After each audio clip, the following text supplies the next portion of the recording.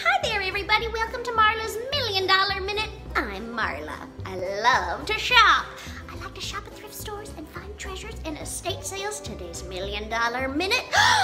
Oh, a woman after my own heart. Look at this 1980s beanbag. Miss Piggy. Oh, the original CEO, the original uh, powerful woman. Isn't she wonderful? Value $1 million. That's right. Marla's price at the churchyard sale? Just a mere 25 cents. Oh, they almost gave it to me for free. And look at her, she's got a sort of plump bottom so she rests comfortably in your hand, kind of like Earl's bottom rests in my hand. oh, he's so, don't tell him I said that. Um, and she's got these wonderful little arms and her gorgeous hair. And that's Marla's Million Dollar Minute with me, Marla. Have a great day.